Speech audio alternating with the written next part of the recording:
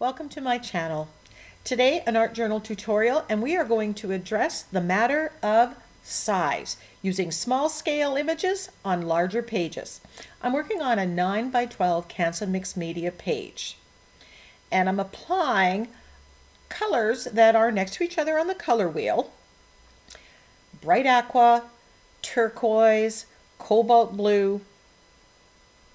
Now the reason that I've chosen these colors and I'm applying it block wet on wet is because I know my focal image has red in it. And if you look at the color wheel, across from the red orange is the blue green. So I'm aware of my what my focal image is going to be and I want to make a background that is going to make it stand out. I'm using this with a slightly dampened makeup sponge. My page has not been gessoed. So once that's dried, I am going to apply stenciling. And I'm only going to use this one stencil. And what I'm going to use are some of the same colors or tones that I've already have in the background. So here I'm using the cobalt blue and I'm just moving around the page. Using one stencil and layering it up on a background is a great and easy way. Don't be tempted to throw too many patterns at your page.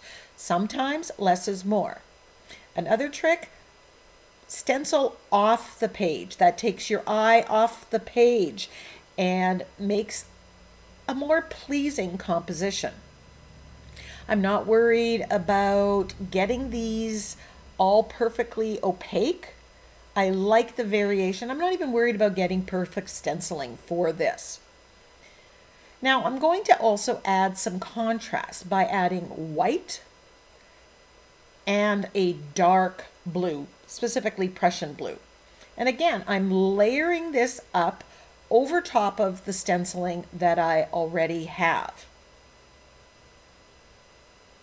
What I want is a background that looks like the snow is falling. Now you could do the same thing with an evergreen bough. That would work for my particular project, and I did consider it, but you could follow the same techniques here to create a background using whatever stencil or theme that you are working on.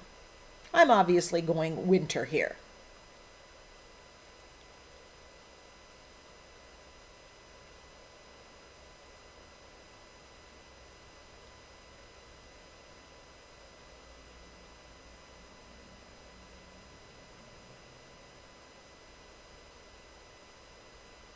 Now I'm going to add a small snowflake in my darkest color. And I've chosen the smaller size specifically because it's the darkest.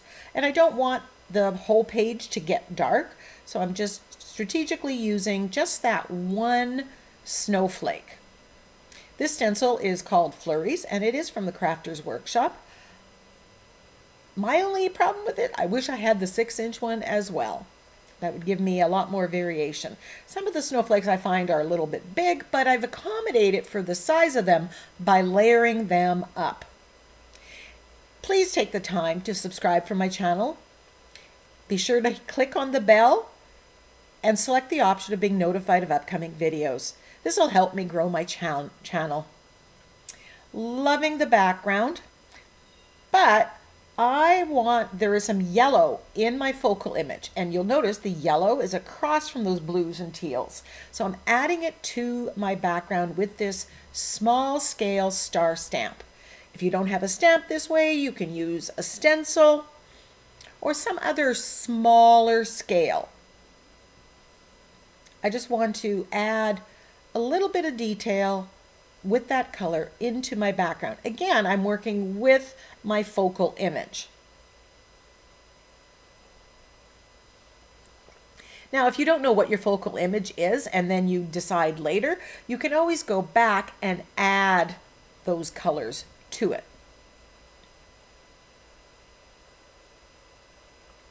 So this napkin is called Santa's Look, and I love the little animated Santas in it but they're very small.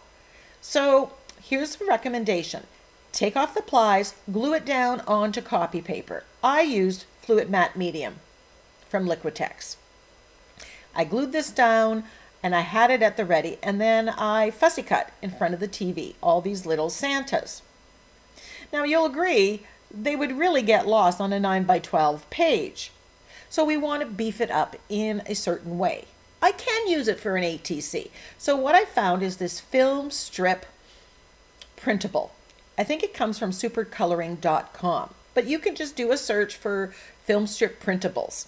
I printed it off, I blew it up with my printer settings, and then I'm just going to paint it black. I want that high contrast on the page. And it's my focal image. I want this to really stand out. And I'm sure you figured out that I'm going to input the Santa into the film strip.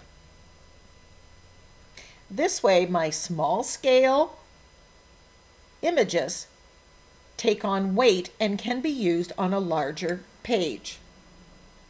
So if you've got small stamps, small images from napkins or rice papers, this is a great way of adding bulk to it, combining it with something else that you already have.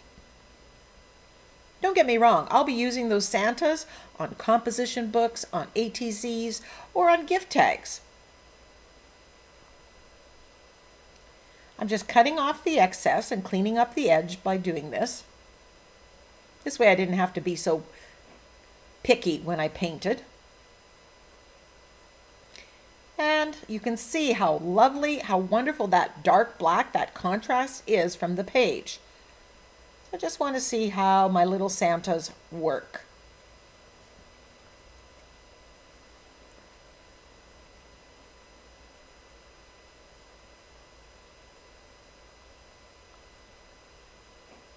And you can see the yellow that's in there and how that ties in with the yellow that I put into the background.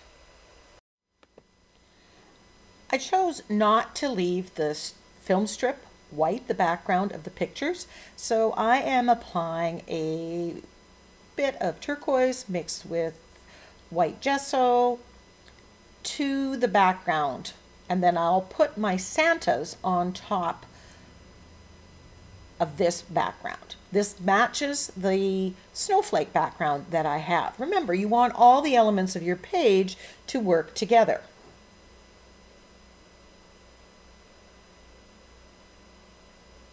Once that's done and dry, I'm gluing it down with my gel matte medium. And I'm putting a layer on top and I'm putting a layer underneath.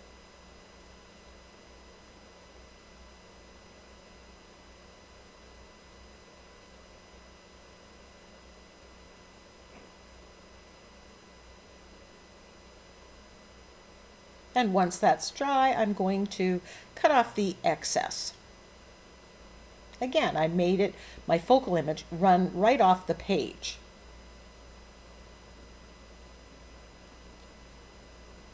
Now I'm doing a little bit of shading, and this is part of the finishing act. And I'm doing this now before I glue the Santas on because that would just make it more difficult. And I like things easier. So here I'm using the uh, Prussian blue.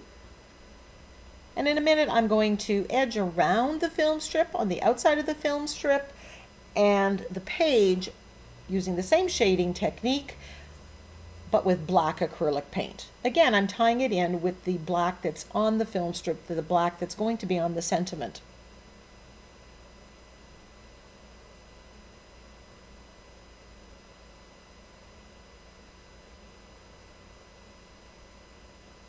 Notice as I add this shading how it makes the film strip, the focal image, stand out from the background.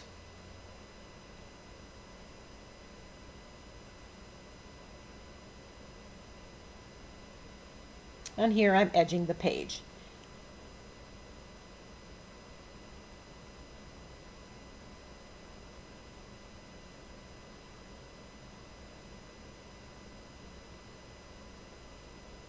You'll notice that I didn't put the film strip in the center. I offset it. I used a bold font and I found the saying, every picture tells a story. Can you think of a different sentiment to use? And you can see how those small scale images work on this larger page. So if you have small stamped images that you want to colorize and then use or images on a, from a napkin like I've done or a rice paper, all of those would work really well. I also plan on using some of these Santas to make Christmas gift tags.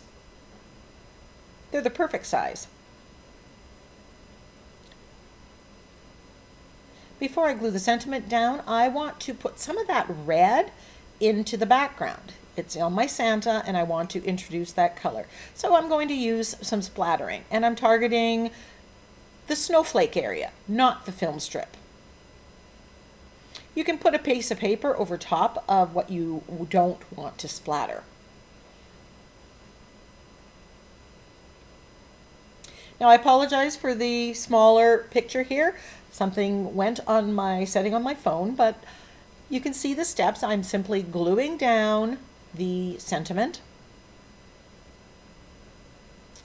And having larger scale and bolder uh, lettering here really pushes back more of that background.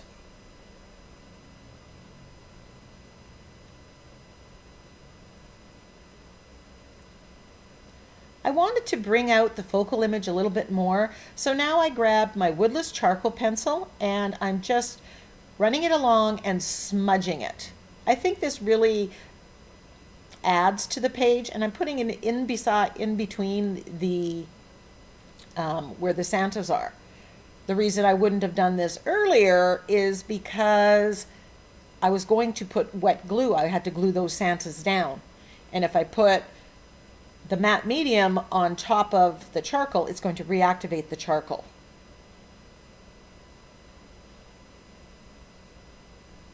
But I like this smudged look. I think it adds to it. And I go around the edge of the page as well, just to darken it up. It just seemed to need a little bit more contrast than what I had.